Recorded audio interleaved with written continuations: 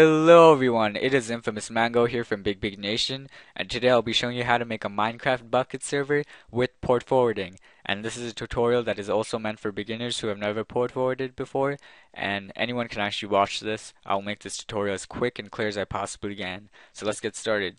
You're gonna need CraftBukkit. That's the only thing. And guys please read the description all the written instructions downloads the links even solutions if your friends can't join will be there. A lot of you guys comment with questions but if you read the description you would find it right away. So do that and go to this page wiki.bukkit.org slash setting up a server now scroll down to whatever operating system or software you use. If you have a Mac or Linux, go down here. I have Windows, so I'm going to stay up here and it says download CraftBukkit's latest build. So you can click on that and it should download right away. And as it's doing that, you go to your desktop, right click, create a new folder. You can call it anything you want. Your awesome server. Um, I already have that. What? Okay, let's just call it awesome server. Now open that up.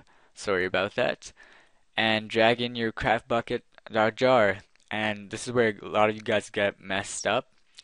If you start your server and you get a error that system cannot find path specified, this is why. When you rename it, you just want it to be craftbukkit.jar, right?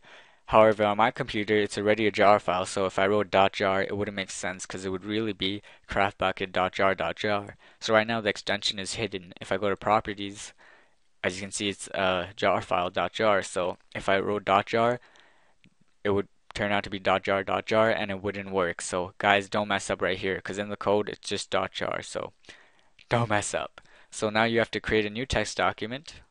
Open that up put it over here and now you want to copy one of these codes. If you have Java 6 and you have 64-bit Java you want to copy paste this. If you want to find out what operating system you have go to computer right click properties system type I have 64-bit right? And if I want to find out what Java I have I go to my C drive.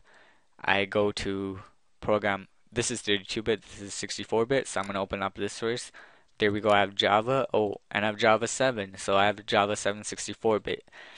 And so I'm not going to even use this code because I don't have Java 6. But over here is the 64-bit for Java 7. If I had 32-bit Java and 64-bit computer, all you would have to do is go right here, program files, and type in bracket x86 bracket percent. I'll put the codes in the description for you to easily copy paste. So I'm going to copy paste this because I have Java 7 and I have 64 bit so I do not have to edit it at all.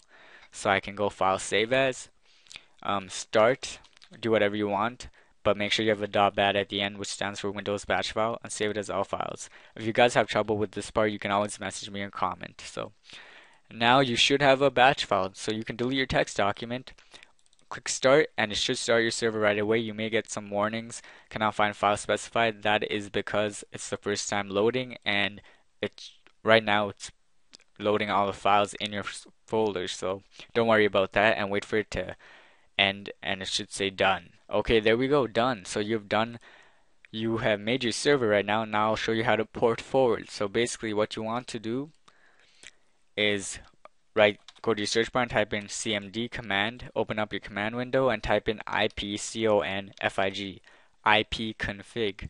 Click enter. Should load up all of the stuff and go up to wireless LAN adapter, wireless network connection, basically the internet you use. And then you want to look at your default computer number. Mine is default gateway, and I think there's only a few types of these numbers. So basically, that number is what you're going to use next. I'm just going to make this page bigger you're going to create open a new tab in your browser and type http you have to do this otherwise it might not work. Um, slash slash and then type in your default computer number exactly as shown. And I'm going to click enter. It should take some time to load. Sometimes it even says it cannot find the web page but if you click reload it should come back. It should take you to your router page basically and then that's how you port forward from there. So we're gonna wait for that. Okay there. So we couldn't find the web page if you click reload it comes back. So oh and if you're having trouble I don't think you have to actually put the HTTP in. My bad. But anyways once you get to this page your router page it should open up. Type in your password you made while you for your router. You should have made that a while ago. I think there's also a default password, so type that in and you should log on. And now all routers may be a di bit different, but it should be similar as well. You may have to look around for port forwarding. I'm going to go to advanced here on my D-Link router and go to port forwarding. Make sure you don't go to virtual server because it looks similar to port forwarding and I messed up once. So go to port forwarding tab and it should look like this. I'm just going to close all these. And basically what you want to do for name is type in anything you want. Minecraft server, something too easy to identify. That will be your application name. For your schedule, always inbound filter, always allow all. And TCP and UDP, you have to make it 25565 because this is the port Minecraft uses. So 25565 IP address. Basically, go back to your command window and you should see a line called IP4 address. Now this is a IP you want to use and put right here. So look at your IP4 address in your command window and copy it exactly as shown. And there we go. And then you have to double check, make sure it's the right thing. And so you have your name, you have TCP UDP at 25565, allow everything, and your IP4 address. And make sure you actually select the thing. So I made a mistake like that once. So select it and then click save settings and your router may have to reboot and you should do that. So we're to be back after it's done rebooting. Okay, there we go. It's done. So basically you have port forwarded now. So the only IP things you use from your command window is IP4 address and your default computer number. So you can close that up now. And now if you want to find out what IP you actually give your friends, go to this page in the description, IP Chicken. It'll tell you what your IP address is, and you can just copy paste this. This is you, you can use this to log on to, so you can minimize this now. We're going to go open up our awesome server. We're going to start the server, and then I'm going to open up Minecraft here. And your server should load up with everything fine. Let's just open up Minecraft. Go to multiplayer, direct connect you can even type local host in for you to join because it is your your you're hosting it. It is your server, so you can type local host in, or you can just type in the IP from IP Chicken. So there's local host. You know that works. Let me add a server here.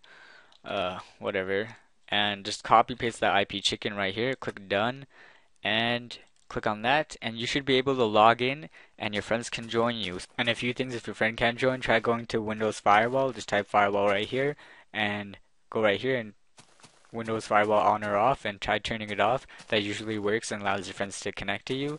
Or if your friends have non-premium accounts and they can't connect, go to your server properties and change your online mode to false and go file save.